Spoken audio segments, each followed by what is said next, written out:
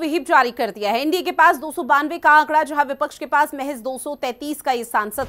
जो आंकड़ा है वो है ऐसे में आपको बता दें सात सांसद लोकसभा में इस दौरान मतदान नहीं कर पाएंगे और उसके पीछे की महज वजह फिलहाल इतनी है कि संसद सदस्यता की उन्होंने शपथ नहीं ली है और जब तक वो शपथ नहीं ले लेते सदन के अंदर तब तक वोटिंग की प्रक्रिया में हिस्सा नहीं ले पाएंगे और अगर सदन के अंदर उनकी मौजूदगी रहती भी है तो वो मतदान नहीं कर पाएंगे यानी कि सात सांसदों का जो नुकसान है वो दोनों ही दलों को यहाँ पर झेलना पड़ सकता है और सात सांसद लोकसभा में वोटिंग की प्रक्रिया में हिस्सा तो लेंगे लेकिन मतदान नहीं कर पाएंगे जब तक वो शपथ नहीं ले लेते हैं तब तक ऐसे में बीजेपी और कांग्रेस ने अपने अपने सांसदों को विहिप जारी कर दिया है तो निश्चित तौर पर सभी सांसदों की मौजूदगी सुबह ग्यारह बजे रहनी सदन के अंदर बेहद जरूरी हो जाती है और इस बीच अगर कोई भी पार्टी या कोई भी सांसद बागफुट पर आता है कदम पीछे करता हुआ नजर आता है दूसरे दल को यहाँ पर अपना समर्थन देता है तो निश्चित तौर पर एक बड़ा एक्शन भी सत्ता पक्ष की तरफ से या विपक्ष की तरफ से लिया जा सकता है